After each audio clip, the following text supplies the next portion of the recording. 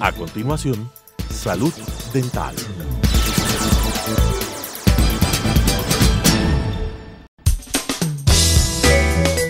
Clasificación B, bajo supervisión de un adulto.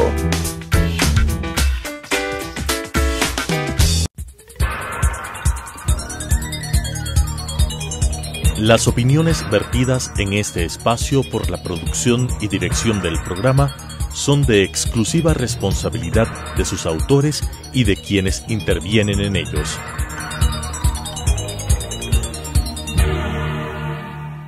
Telesucesos Canal 29 presenta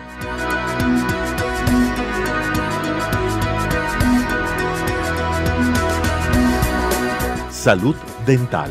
Bienvenidos.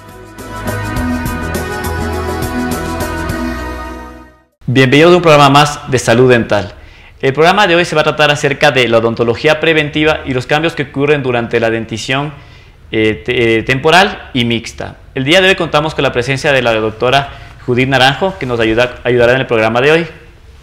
Bienvenida. Muchas gracias, doctor Alejandro, por la invitación. A continuación les vamos a hablar acerca de odontología preventiva, qué es, eh, cómo, cómo tratarla, en fin. Vamos a ver entonces las siguientes diapositivas. Nos explica un poco a la doctora en qué consiste esto de la odontología preventiva. Ok, empecemos. La odontología preventiva.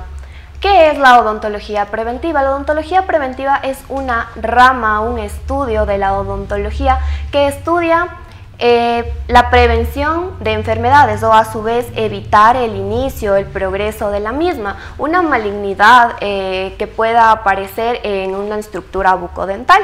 Para esto tenemos dos elementos que son súper importantes dentro de la odontología preventiva, que es la prevención y el diagnóstico. Dentro de la prevención es como nosotros vamos a crear diferentes estrategias para evitar que aparezca una enfermedad, como es la higiene dental, eh, como inicia eh, un niño, ¿ok? Cuando aparece el primer diente es importante que los padres de familia acudan a su odontólogo para que sea él el que pueda guiar esto. Eh, y, el tema del diagnóstico eh, es, importante porque un diagnóstico precoz también o un diagnóstico temprano es también un tipo de prevención, ¿no? Eh, cuéntanos acerca de los tipos de prevención que tenemos. Ok, en la siguiente diapositiva vamos a ver que existen tres tipos de prevención, prevención primaria, prevención secundaria y la prevención terciaria. La prevención primaria es aquella que expliqué hace rato, que es cómo vamos a evitar que aparezca la enfermedad por medio de una limpieza dental, profilaxis, eh, una restauración y en caso de que ya no se pueda evitar el progreso de la enfermedad, existen otros elementos que es la cirugía periodontal y en la endodoncia. Esta pertenece a la prevención secundaria, que es cuando ya aparece la enfermedad y en este momento nosotros evitamos que progrese, es decir, que haya alguna pérdida de los dientes. Y la prevención terciaria eh, es la exodoncia, ya cuando no, no está el diente, y tenemos que recurrir a tratamientos más invasivos como es la especialidad de prospodoncia como vemos a continuación, es muy importante detectar todo lo que son, hacer los diagnósticos en la etapa de la eh, prevención primaria para evitar que siga progresando a que los tratamientos sean más complicados y también más costosos para el paciente. Y hablamos ahorita acerca de son lo que son los criterios generales para prevenir las enfermedades que se desarrollan en la cavidad oral. Claro, en la diapositiva vamos a ver cuáles son los criterios generales. Em, el criterio general mecánico es la higiene dental, un buen cepillado dental, uso de hilo dental, enjuagues bucales, entre otros. El segundo es el control químico de la placa por medio del uso de fluoruros que ayuda a la remineralización del diente y también el uso de agentes antimicrobianos. Hay que recalcar la disciplina con el azúcar ya que es indispensable evitar que los niños, personas adultas, jóvenes, en general consuman alimentos altos en azúcar, ya que estos son cariogénicos y por ende produce mayor caries. Y, y los sellantes de fosas y fisuras, que son aquellos que ayudan a prevenir el progreso de caries cuando en nuestras muelitas aparecen surcos muy profundos.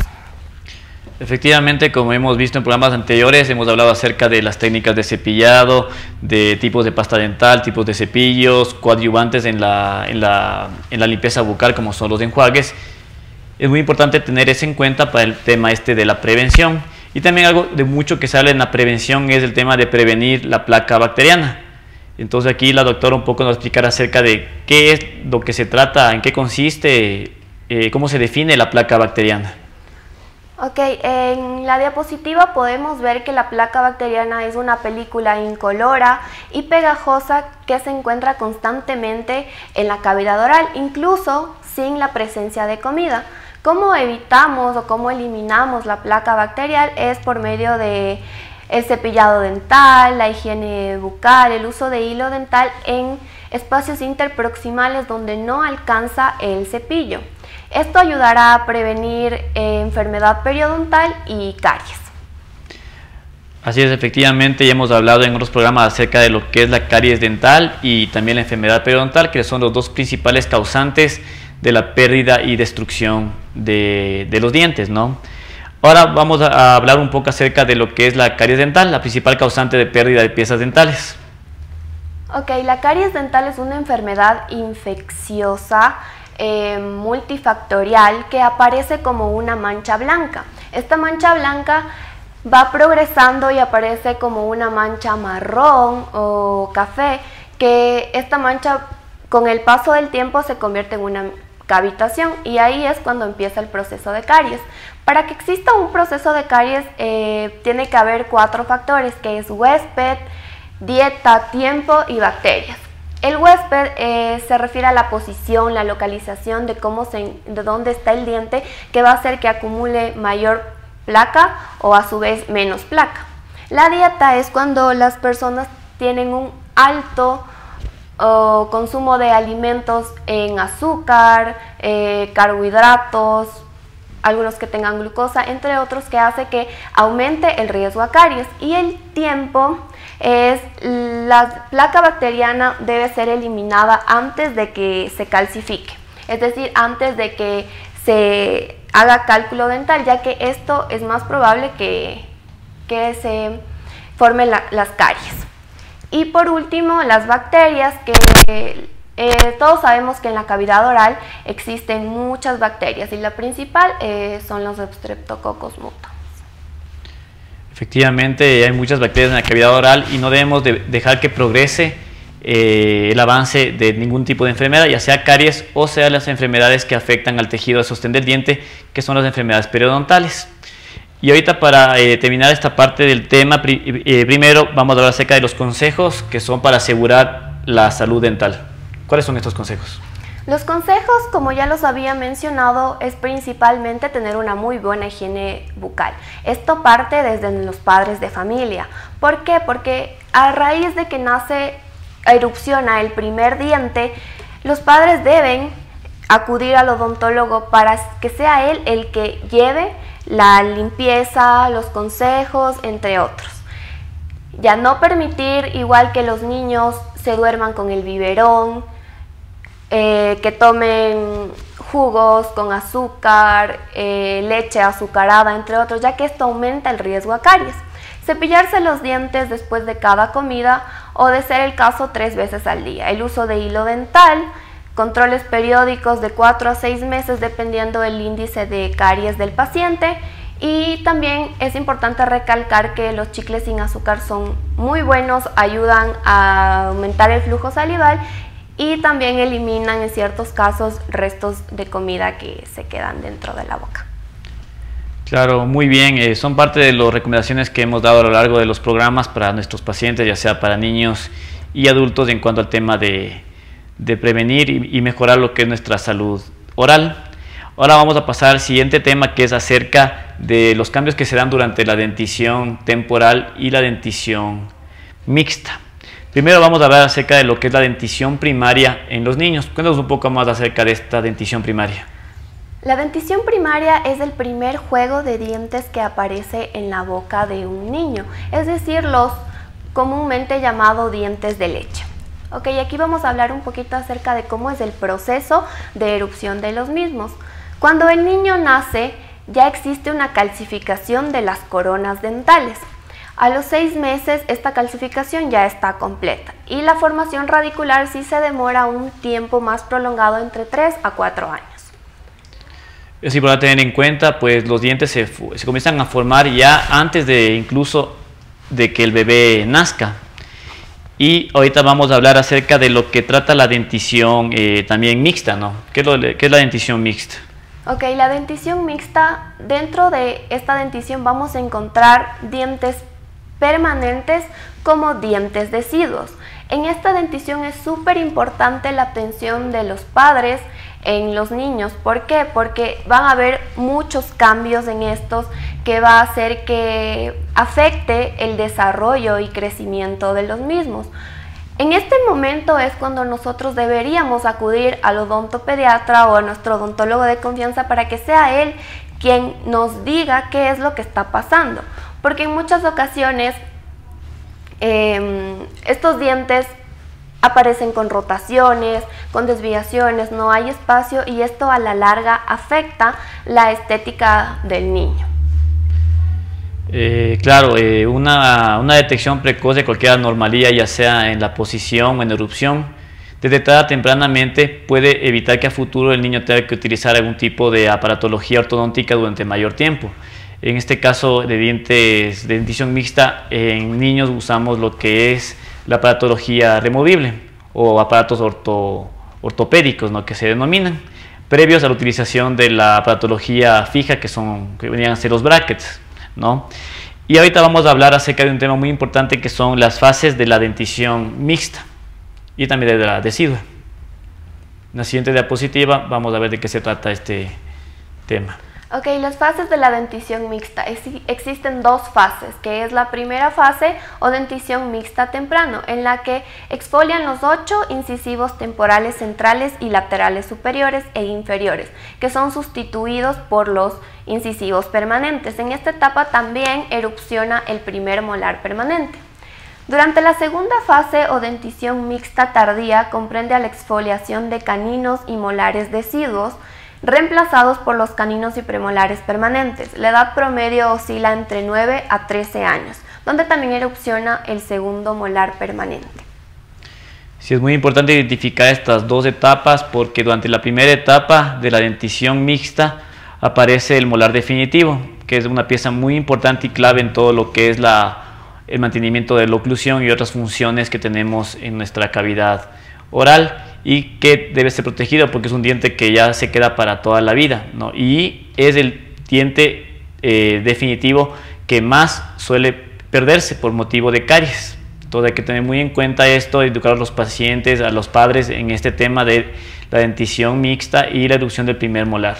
Y en, y en el caso de la, de la dentición eh, de, de, la segunda fase, también eh, hay bastante pérdida en cambio del, del diente temporal, del molar temporal y cuando no es reemplazado, este, este, este, con este molar temporal no es tratado con un mantenedor de espacio, también puede dar problemas de, erupción que deben ser tratados a futuro con más, complicados, es el espacio, no erupción del diente definitivo, el, molar definitivo no puede erupcionar, el premolar digo definitivo no puede erupcionar y se altera todo también el patrón oclusal.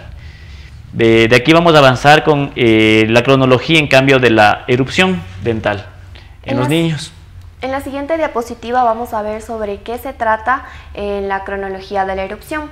A los 6 y 7 años emergen los incisivos centrales. A los 7 y 8 años eh, erupcionan los incisivos centrales superiores y laterales inferiores. A los 8 y 9 años los incisivos laterales superiores. A los 9 y 10 años los caninos inferiores.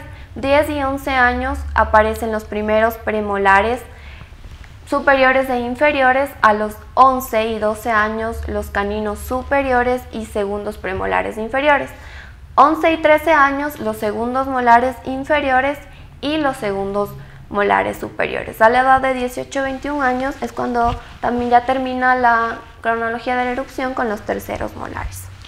Sí, es muy importante guiarnos por estas fechas tentativas de la cronología de erupción sin contar los terceros molares que pueden erupcionar ya sea en un periodo de, los 18 hasta más, de mayor edad. Eh, hasta el segundo molar erupciona aproximadamente a, los 14 años de edad. En mujeres esto suele ser más temprano que en los hombres, hay que tener en cuenta esto también, el patrón de erupción en mujeres es un poquito más adelantado que en hombres, y si es que vemos alguna alteración, eh, que no hay erupción de algún diente en un periodo de seis meses con relación al tiempo normal de erupción, debemos de ver la causa que está produciendo que este diente no erupcione, ¿no?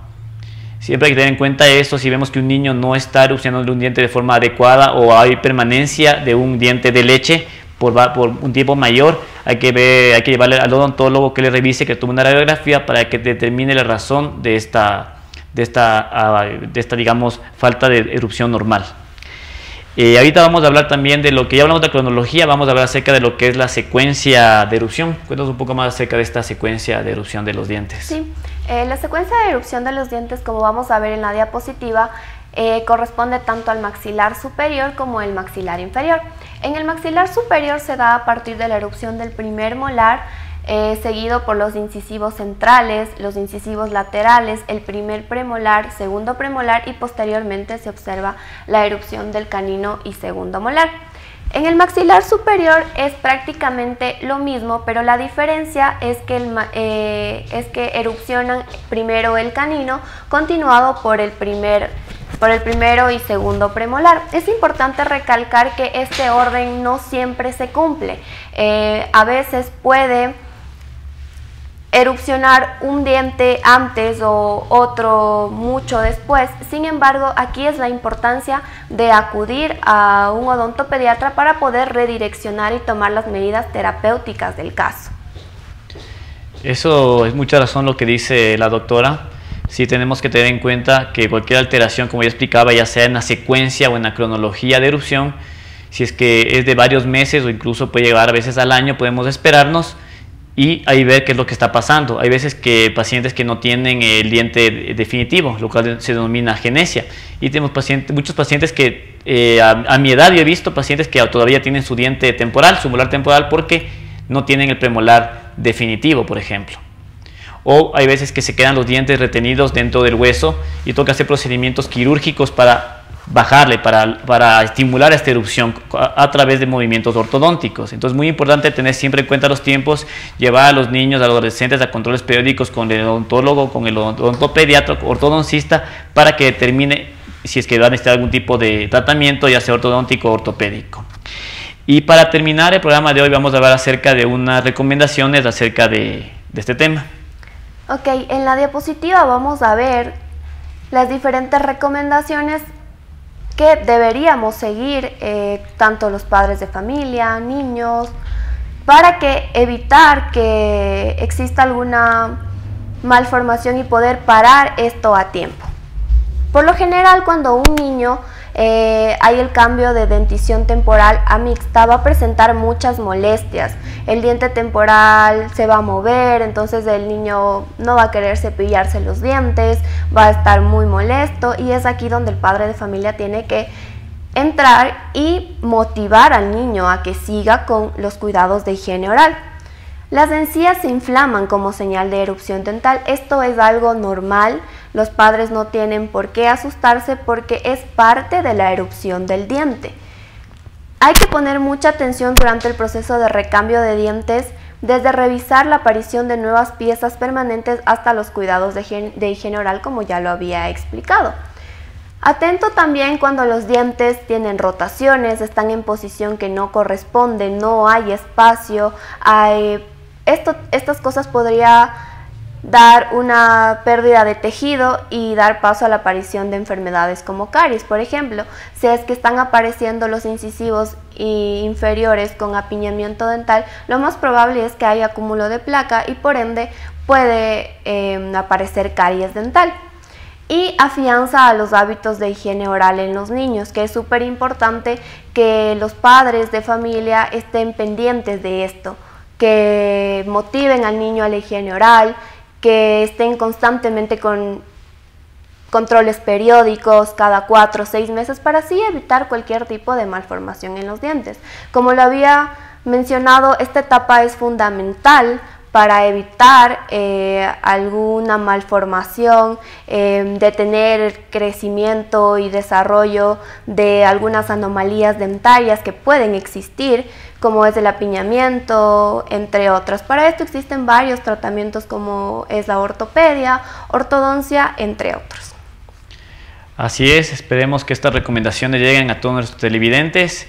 Agradecemos mucho la presencia de la doctora, esperemos tenerle próximamente en algún otro programa. Y ya saben, cualquier duda, comentario, sugerencia que tengan, eh, algún paciente que tenga, eh, algún familiar suyo, algún hijo, hermano, con alguna duda, pueden tranquilamente llamar a los números, contactarnos a nuestras redes también sociales y dejamos nuestros teléfonos y contactos a continuación. Eso ha sido todo por hoy. Muchas gracias. Las opiniones vertidas en este espacio por la producción y dirección del programa son de exclusiva responsabilidad de sus autores y de quienes intervienen en ellos.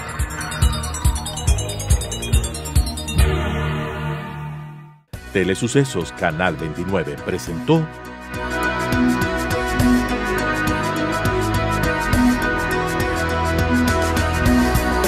Salud Dental. Hasta la próxima.